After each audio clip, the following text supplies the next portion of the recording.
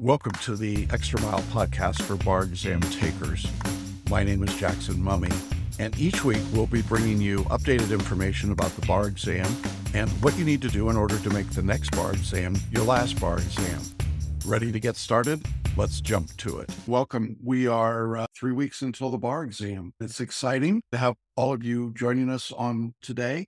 It is Wednesday, February 7th. I'm joined today by Tracey, and we are excited to have her here.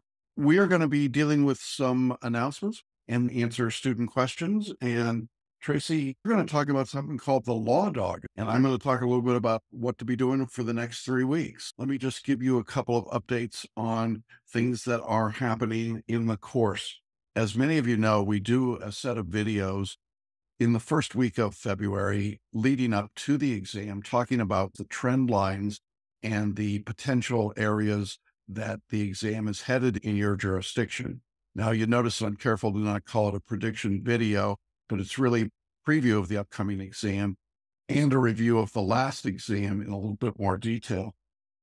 I have completed the videos for the UBE and for Florida, and those are now posted in your online courses. They're in lesson 1.5 in your course, and it's about a half hour video in each jurisdiction. I'm still working on the California and Georgia videos. Those will be mm-hmm. completed no later than this weekend, and we will email you, but you can also go online and just look five, and it will identify and say that this is the February 2024 preview video. It's a chance for me to look back at the prior exam, analyze it, think about the trends, what's been going on in the test, and then looking ahead, I use a likelihood scale of one to five to say how likely I think a particular topic might be on the upcoming exam.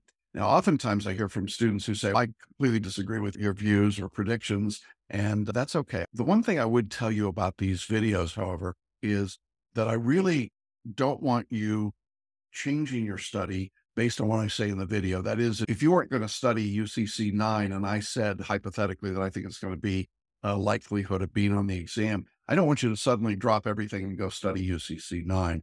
This is part of the reason that I wait till later in the season is precisely for that reason. I don't want you to overreact to whatever I say there.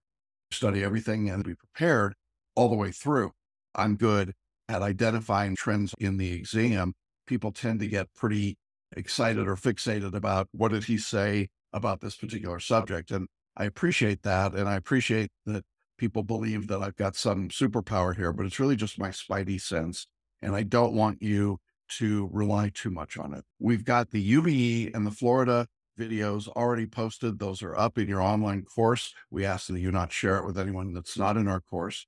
And we will get California and Georgia out in the next few days, particularly fun in Florida where, you know, who knows what they're doing. All right. Next announcement boot camp. We have our live bar prep boot camp coming up April 26th and 27th here in Denver.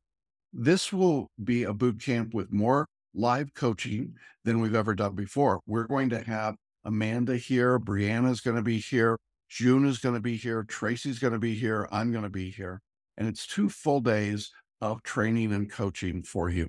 We're going to show you how to photo read better. We're going to show you how to make effective mind maps and really have you step into that and work with that.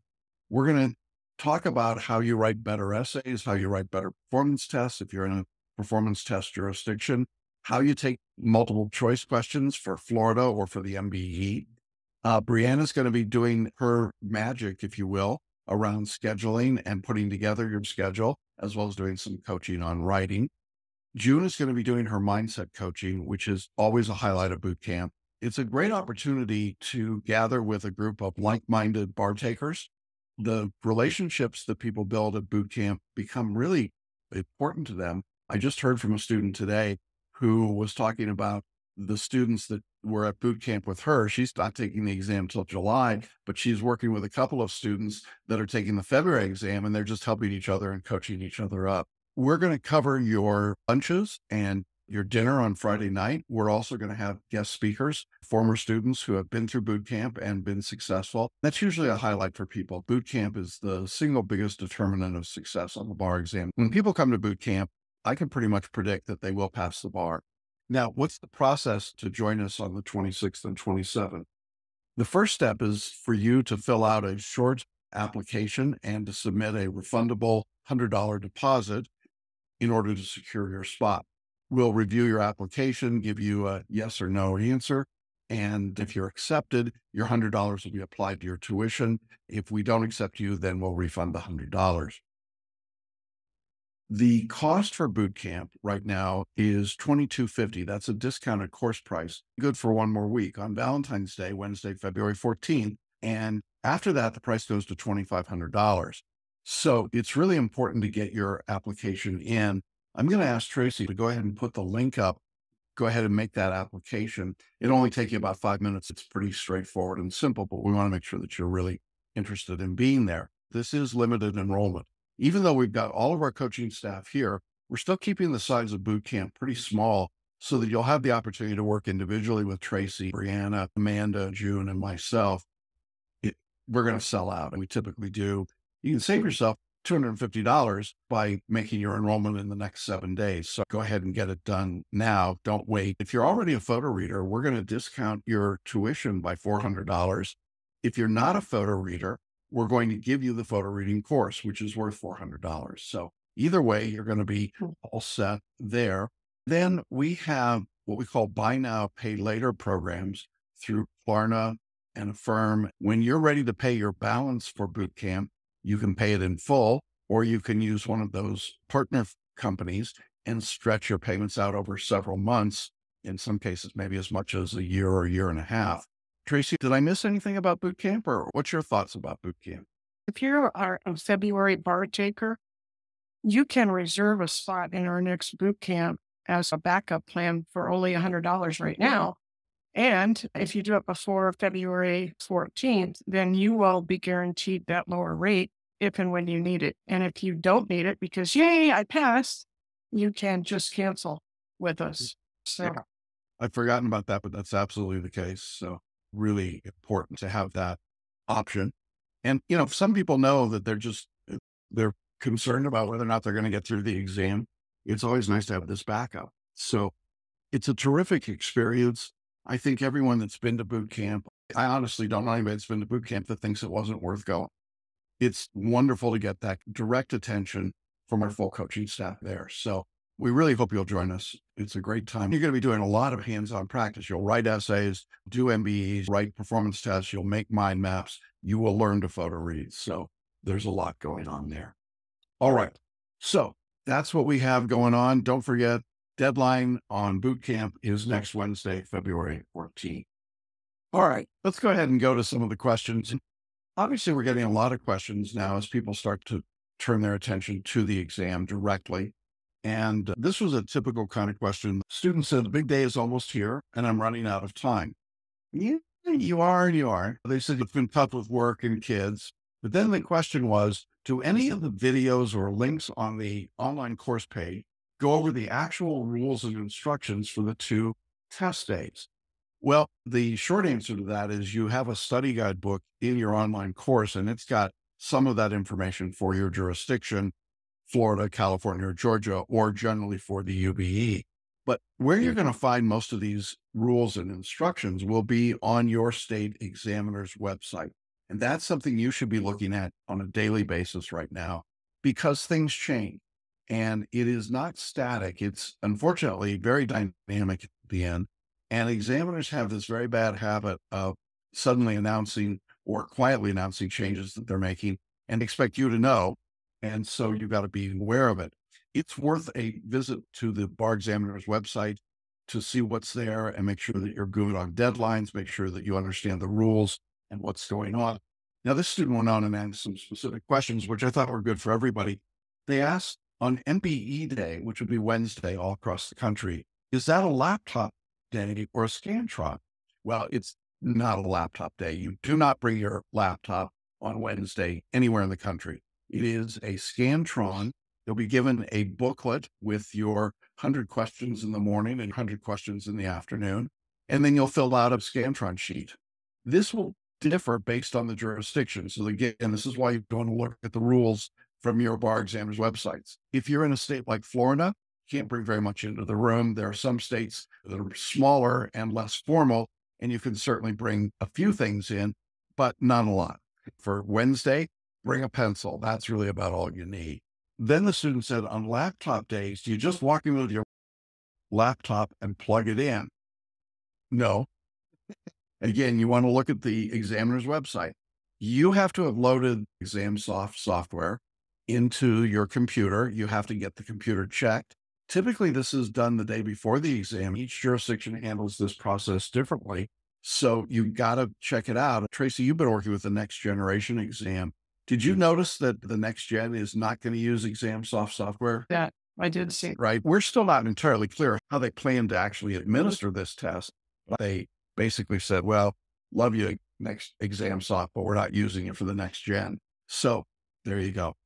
In any event, you know, the student said, well, you know, do you just, you know, plug in your laptop when you arrive in the morning? No, it's not quite that simple. Most everywhere you've got to have your laptop checked and then it's sandboxed and embargoed. So make sure you look at the rules. That's really the key to all of this is go to the website, look at the rules. They're different from jurisdiction to jurisdiction. Even within the UBE, New York does things differently than Texas. So make sure you're doing that. Yeah, and make bring three pencils that are sharpened but not too sharp in case you break off the lid. Get an extra power cord for your laptop now and put it in wherever you're going to bring your laptop. An extra cord. We actually had somebody in the last testing uh, go round that ran out of power halfway through and had to switch over to handwriting. So go get it, put it in the case with your laptop and bring two of them with you. Yeah. And start working with your laptop. If you've got the ExamSoft software, you can do some practice tests on that and make sure it's working.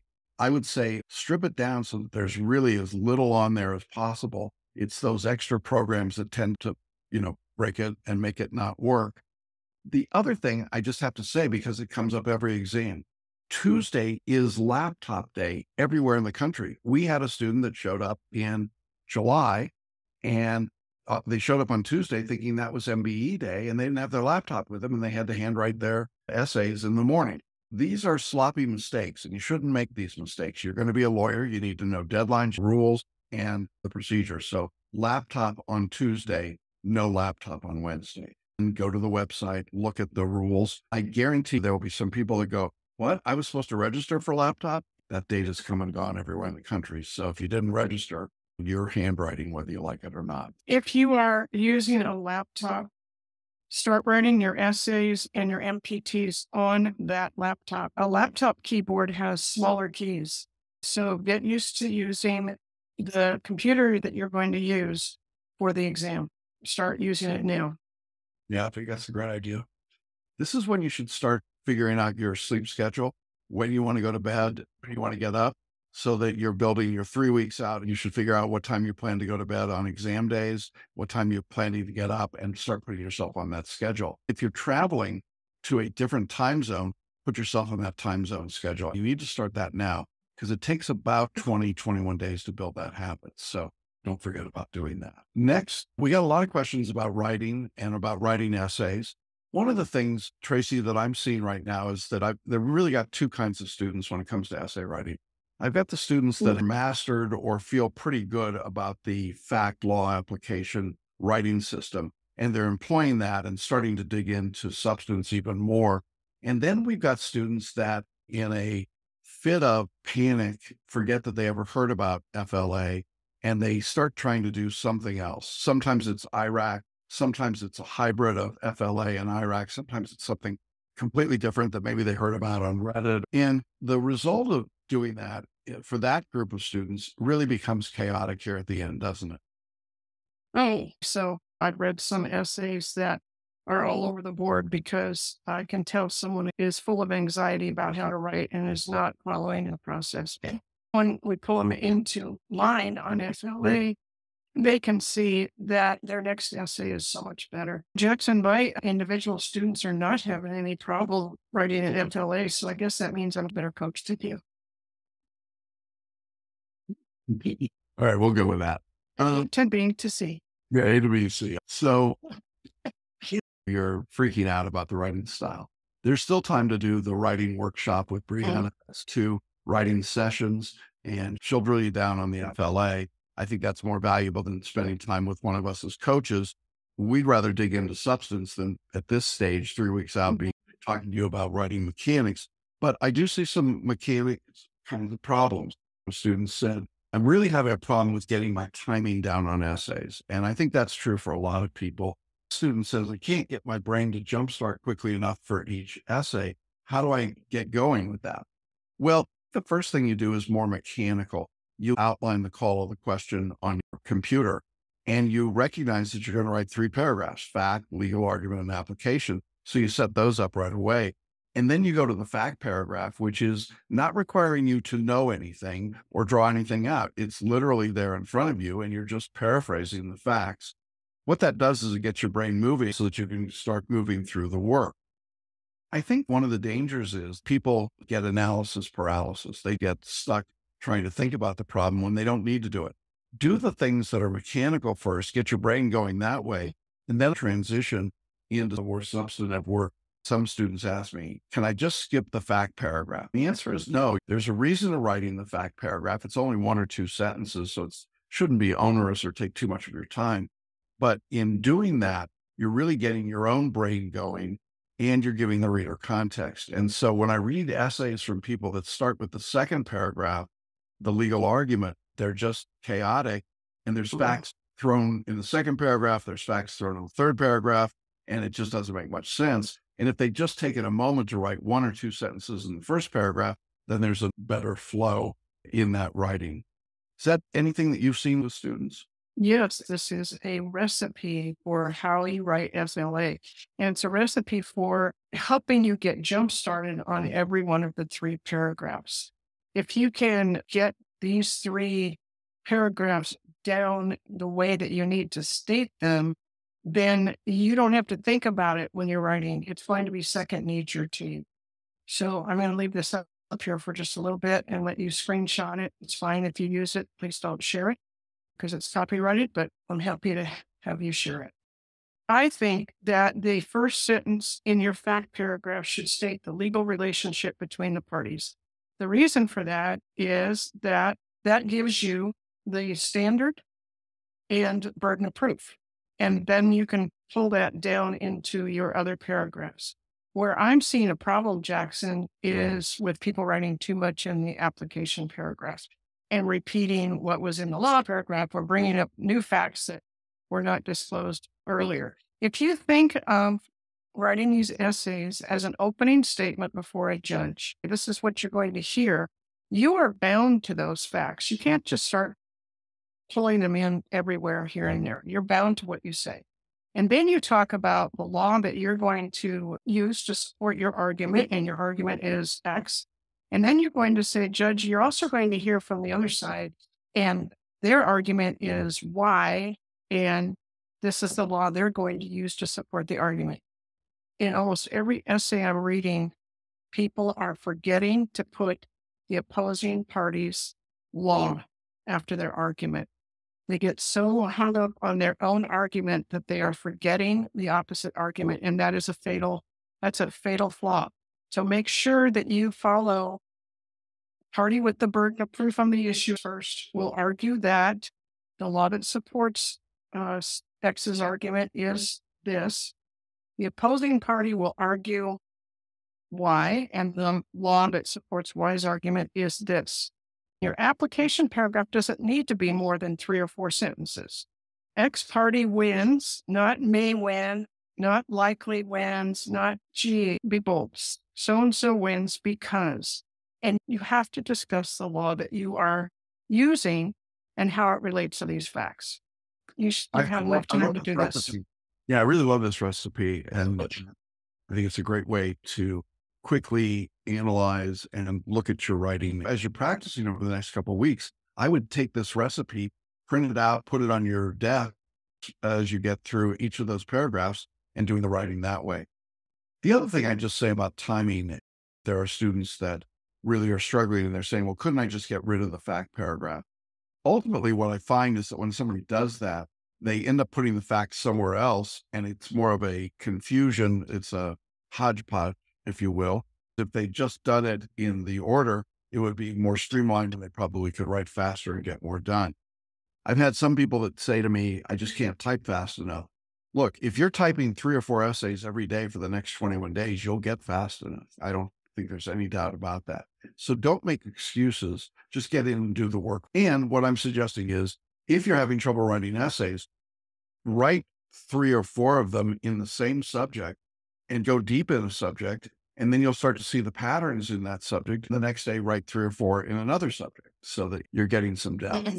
That's a great idea because I'm also seeing some missteps in the understanding of topics.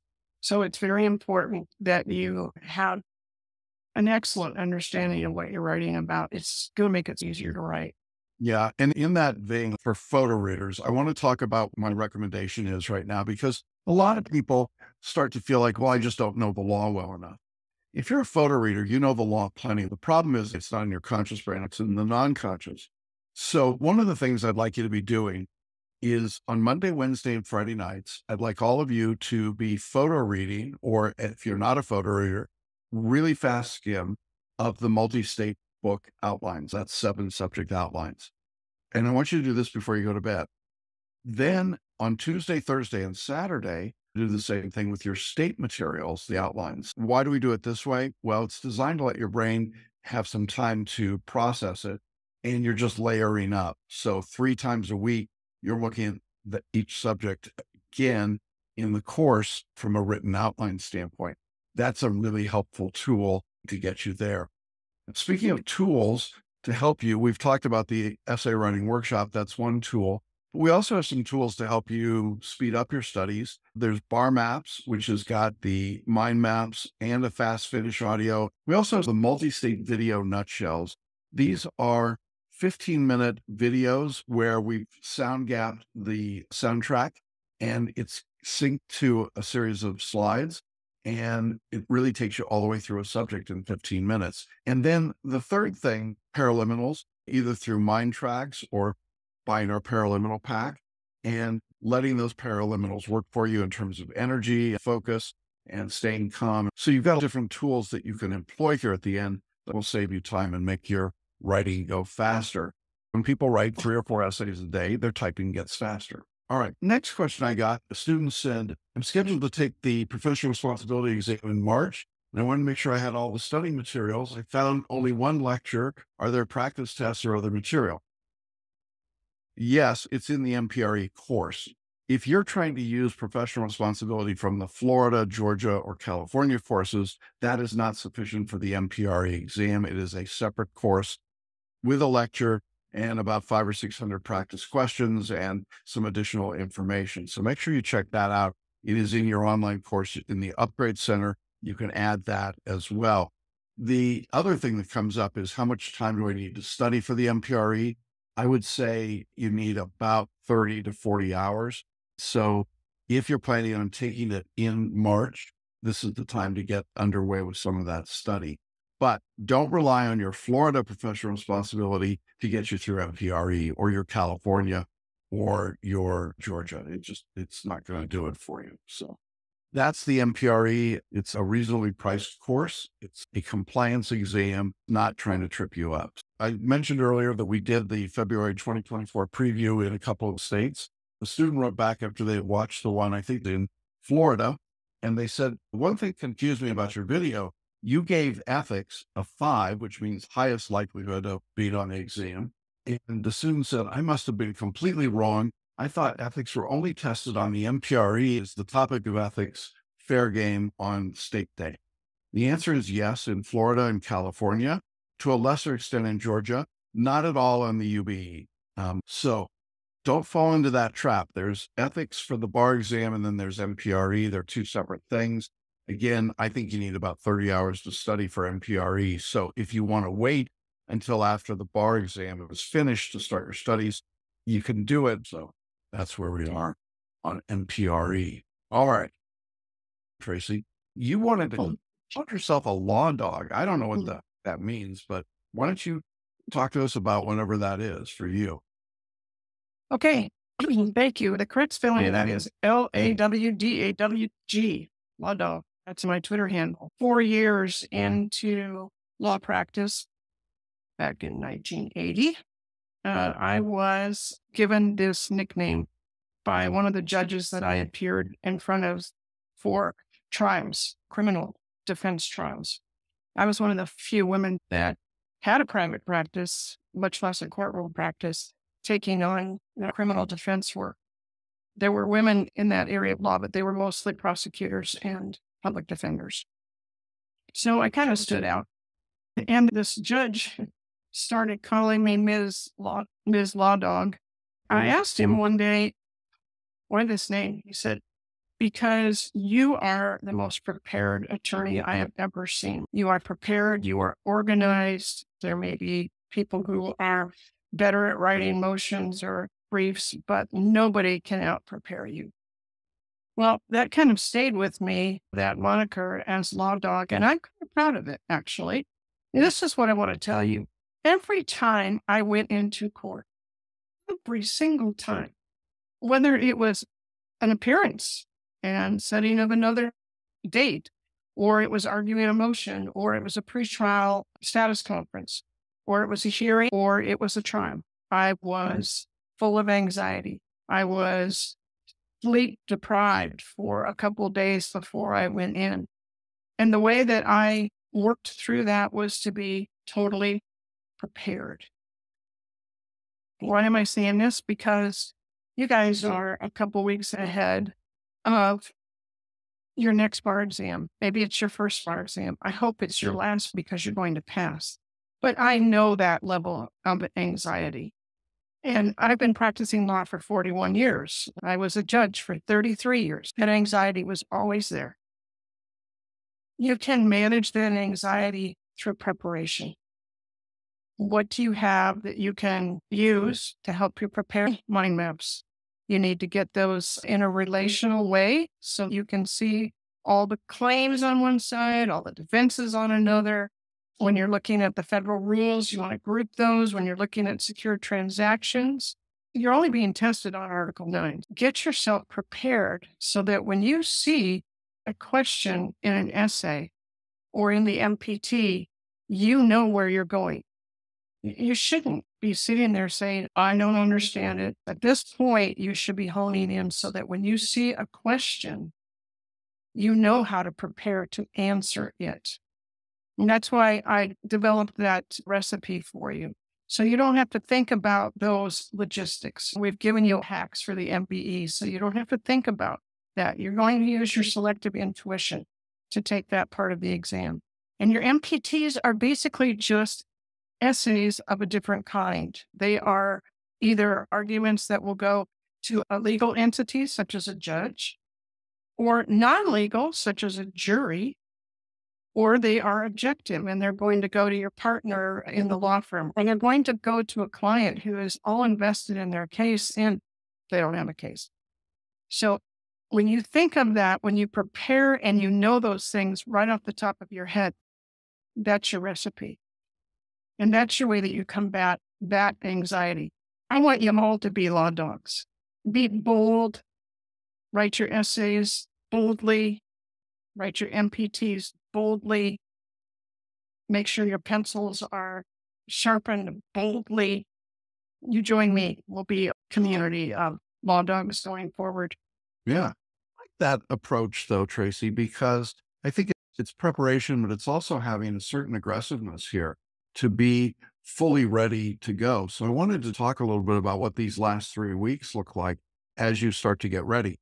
Three weeks is still a long time until the exam. We're still only mm-hmm. seven days closer than we were last week when we were talking about this. It just goes really slowly at the end. I already mentioned one thing I want you to do, which is to read your outlines Monday, Wednesday, and Friday. Do your multi state outlines. Tuesday, Thursday, Saturday, do your state outlines. Do them before you go to bed, sleep on them, and be ready the next morning. Secondly, be reviewing your mind maps. This is a good time to pull out your mind maps and to be reading them out loud and recording them. Put them on an MP3 on your phone and then put it on a loop and put it under your pillow at night. Put it at the lowest volume so that it's literally inaudible to you and just let it run. You'll find that during the night you wake up, not just because you have to go to the bathroom, but just because your brain is filled up and then you just turn off your phone and you're done. But going through those mind maps is really important to be able to give you a opportunity to take the work and to hear it in your own voice. So that's the second thing to be doing. The third mm. thing that I'd like you to be doing in this period of time is to start to look at the things you don't know. Find the subjects. Tracey mentioned a couple of subjects. Find the subjects you don't know and go deep. Write a few essays in that subject. Don't just write one. If it's secure transactions in your jurisdiction, write three or four of them, review them, and then add the information to your mind maps. The MBE, the multi state bar exam, as you're doing the practice tests, I gave you the order in which I want you to do the practice tests. And I want to remind you that really very few of them are predictive. They're really still for the purpose of helping you learn the law, focus on what you don't know as you work through those. So again, make sure that you're giving yourself time to do the OPEs and then to do the practice full length exams under test conditions. Starting next week, we'll start to see more and more people moving into that realm. So that's the, the next thing. When it comes to the performance tests, if you're in a performance test jurisdiction, I suggest you do at least one performance test a week over the next three weeks. If you're having trouble with performance tests, do more. Most of those should be the tests that are designed to go to a legal audience, whether they're persuasive or objective. Those are the two kinds of performance tests that are most likely to be on the bar exam. And then finally, work on mindset. Expect to pass, expect to go in and be successful on the exam don't start thinking about, I'm not going to be successful. It's not going to go. I don't get this. I'm not learning this. Particularly if you're a photo reader, you're going to be aware that you don't know things consciously. And it's not until you do questions that you begin to understand how much you really do know. But sometimes people stop at that first point and they think, I don't have a conscious recollection, therefore I don't know it. And then they start panicking and they try to memorize or start making extra notes. You don't need to do any of that trust the process, trust the system. It works. You just have to do it. If you'll do it, it works. I think, Tracey, this is probably the most frustrating thing for me for 30 years is that if people just do what we ask them to do, it works. It's when people get freaked out, when they become Wiley Coyote running off the side of the mountain, they go, Oh my God, what am I doing? They stop using the tools and then things blow up for them. That's what we don't want them to do. As you're thinking about these three weeks, be uh, deliberate in what you're doing, be intentional. Watch my daily emails. There's a lot of really direct advice there.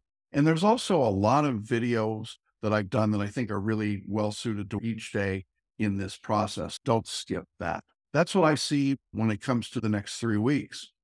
Any thoughts about that, Trace? And you know, you do have to pick and choose what you're going to do from this point out. But the first thing you should do each day is read the email from Jackson and listen to whatever video he posts because they are absolute nuggets. In the first year that I was working with him, I read those every day and I listened to them every day. And it's amazing how quickly I picked things up. There mm. are lots of aha moments in those. Don't pass those by. Right. Use your keyboard. So you are very comfortable when you go in there. Don't be afraid of things like secure transactions secure transactions is about the easiest topic there is because it is so cut and dry. Don't be afraid of big words and topics. All right. That's right. Keep your sense of humor, folks, as you go through the your weeks. In the emails that I've sent out, I've tried to be inspirational in some of them. I've tried to be practical in some of them. You're going to see some coming up at about the 14 day or the 10 day mark that get into more specifics. If you're a super achiever, you can always go look at the whole list of the countdown videos and jump to one that's a few days ahead. We've been updating a lot of those videos, so I encourage you to watch them. I think that's all we've got for today. I hope this has been helpful for everybody today. Just remind you that uh, if you're taking the exam in July of 2024 or later, you definitely want to be registering for boot camp. If you're a February 24 bar taker, you can reserve your spot for the boot camp with a refundable $100 deposit. The deadline is a week from today. Tracey, thank you for being here as always. Next week we will be back and we'll have Brianna or Amanda or both. Maybe we'll have June. It's hard to know. Coaches are all busy working with students. So we're glad that they're doing that. Check the community page for our group coaching calls. They're doing their regular calls this week. Have a great study week, everyone. And we will see you uh, all next week on Valentine's Day. Bye bye, everybody. Thanks. All right.